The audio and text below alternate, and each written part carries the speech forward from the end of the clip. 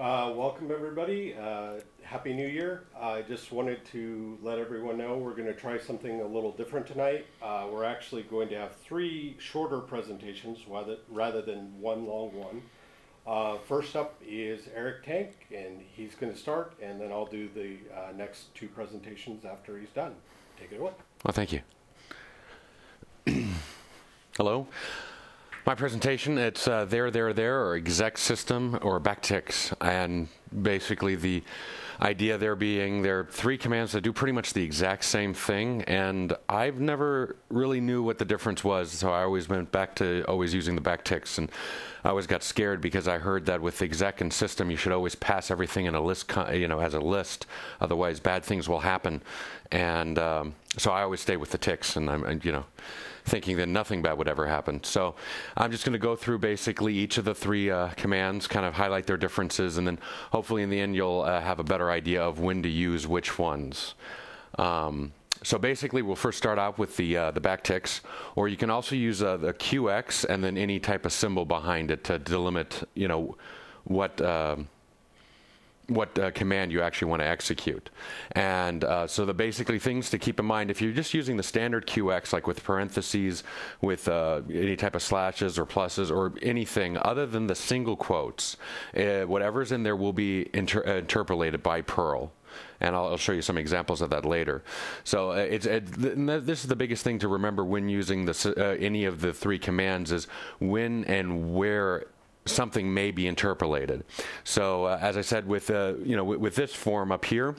Or with just uh, simply the backticks, uh, Perl will first interpolate what you, the string you have in there, and then hand it off to the shell. Um, if you're using the single quotes, Perl doesn't interpolate it and just passes it on, and the shell does what it wants with it.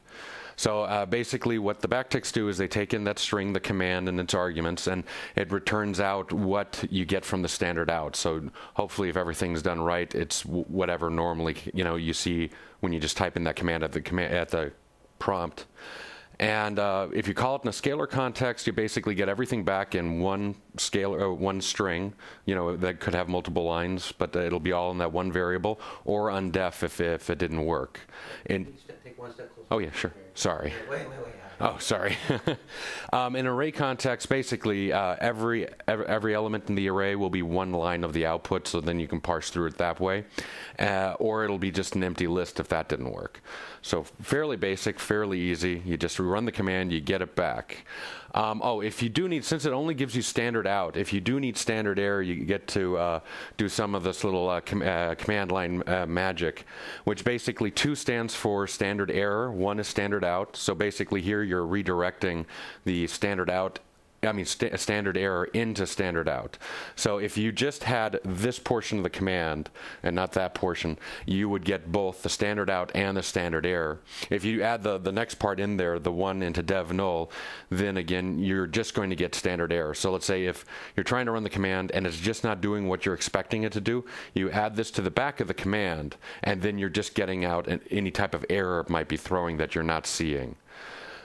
So then uh, basically I just uh, listed a few, uh, few examples. So basically this is just the back backticks. So as you can see, I'm just doing a PS. So the PS, it, it does, um, it, it, shows you what the information about the process itself. So this is helpful so you can actually see where things are being interpolated.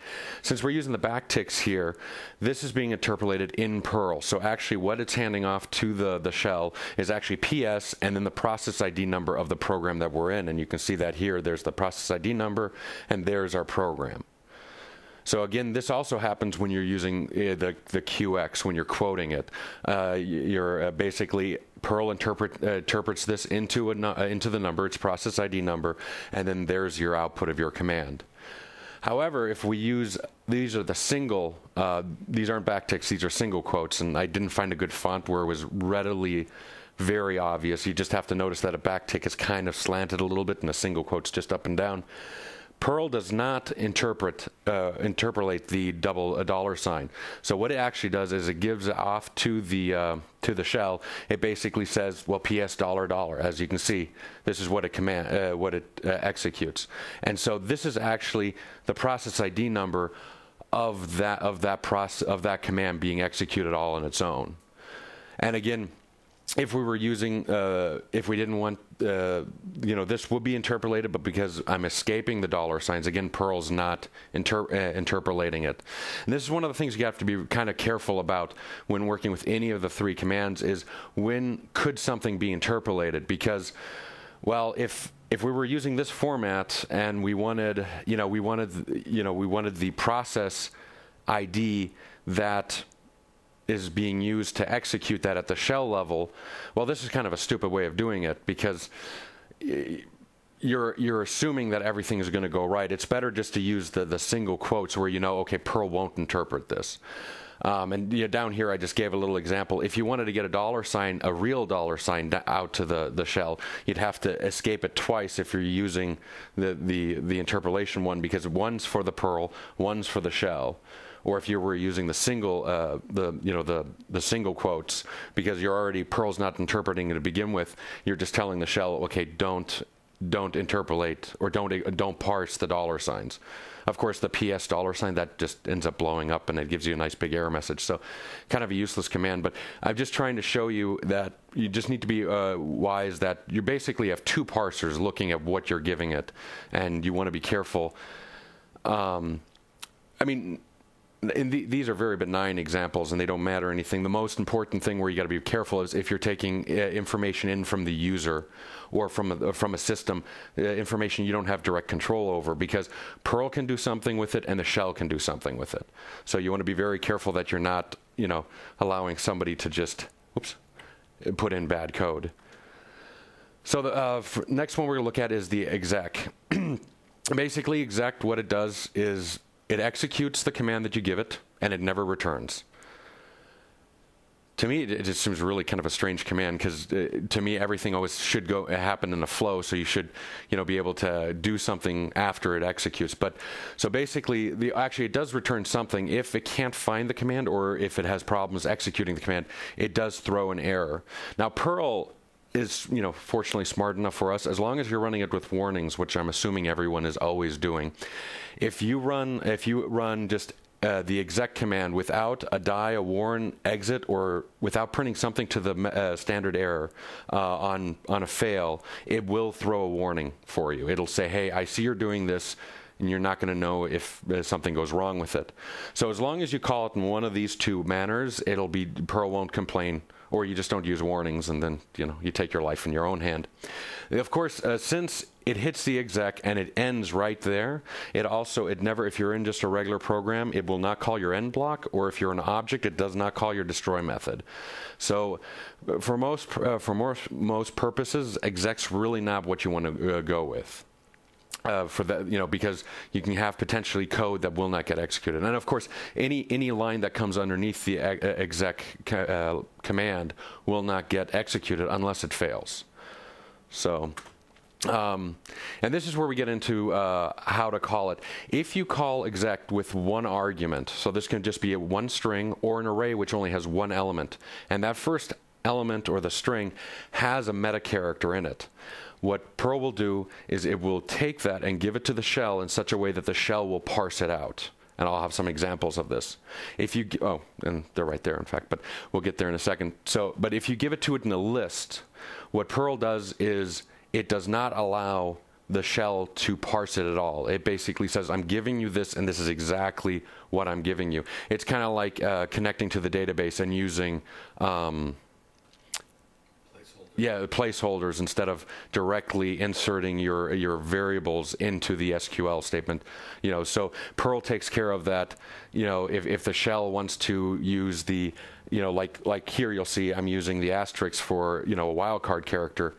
In fact, I'll just go into the example. So here I'm call I'm you know I have an array, but it only has one entry. It's the first one, and the first entry does have a meta character into it, the wildcard asterisk.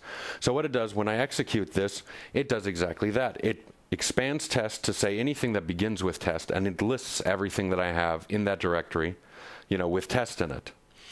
If I execute this with um,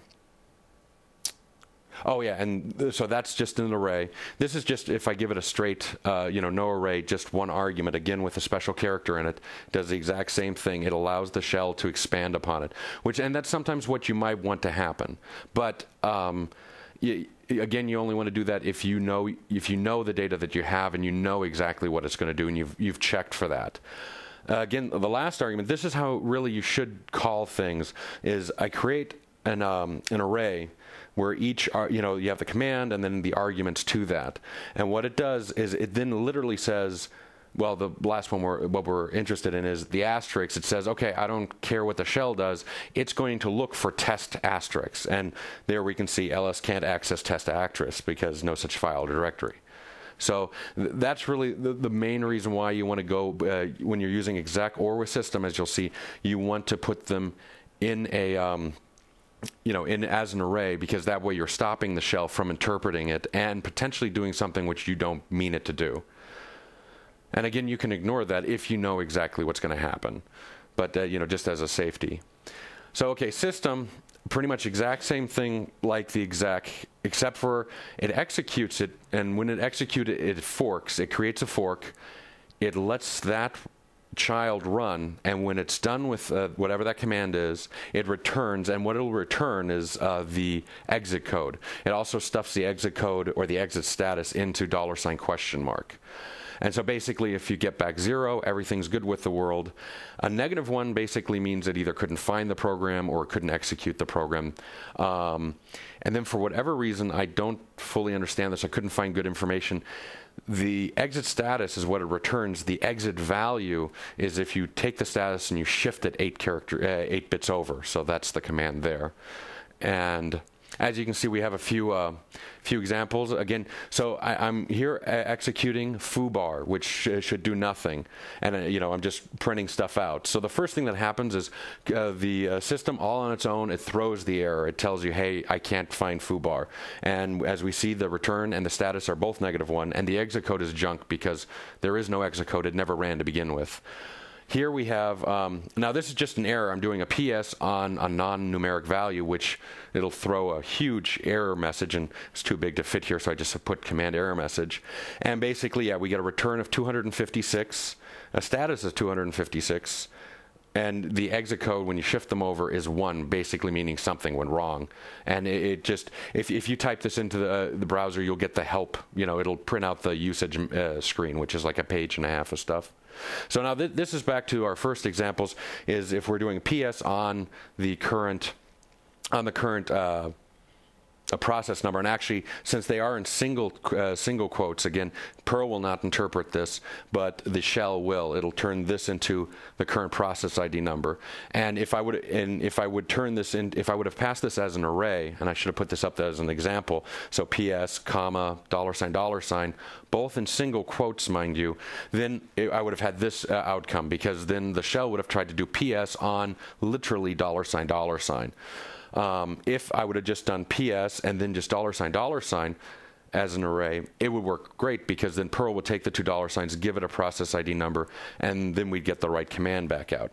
And here you can see, well, everything worked great, great everything is zeros across the board. Okay, so basically, in all ways, system is the same with system is the same as exec with the exception of it forks and it comes back. So then you can do things, you know, you can go on, you can get the data back. Well, no, you don't get the data back. You don't get any standard uh, standard out. But at least whatever you've done, you know has now successfully happened as you know as long as you, you know, check the the, the return code to make sure it's zero. And so basically these are the same three examples. I won't go through them in, in, such detail again, but it shows the exact same behavior. If we're giving it to it as a single string with a meta character in it, it does exactly what would do if we typed it in on the shell. If we type it in as we should, as an as an array, it comes back and says, no, I don't find test asterisks, which that's the safer way to do it. So uh, basically, coming down to the like, which one should you use? It's uh, pretty actually fairly simple. If you need the output of the command, use the backticks. If you're on a system like Windows that doesn't allow for forking, or it, you can't rely on forking, you use exec. For everything else, always use system, and I, you know, preferably always pass the um, the arguments or the command and the arguments in a list form, so that you know that the command line is not doing anything on its own so that, that you know that okay this is what i'm giving it and it is using exactly those values and it's not doing its own magic. So uh, just and of course as the last thing little words of ca- caution is if you're doing this it's n- probably not going to be that portable. Um, you- you're going to be reliant upon the fact that that command works in the next system as well which then you don't have the safeguards as let's say you know using a, a Perl function that does the same thing. But usually, if you're writing something like this, it's a shorter script, and y- you know you need it for very specific things. You're not going to basically do a move or a copy or a read through a directory using the system or the backticks because Perl has you know has those things built into it. Um, taint mode. If you are going to do this, and specifically if you're going to be using outside input, always turn on taint mode because that way, if you forget to check for something, it'll tell you because it'll scream bloody murder. Um, also, again, since you're dealing with the shell, you have to be aware of the shell and the operating system's uh, restrictions. Perl will pass anything on, and it's really up. You know, if the the operating system or the shell can't handle it, well, it's you know your own fault for not checking that out first. And um, uh, basically, if you're going to send things to either the backticks exec or system as, or if you're using backticks or sending a single argument to exec and system, just be very aware of the shell will parse it or will attempt to parse it. And that's pretty much it. Thank you.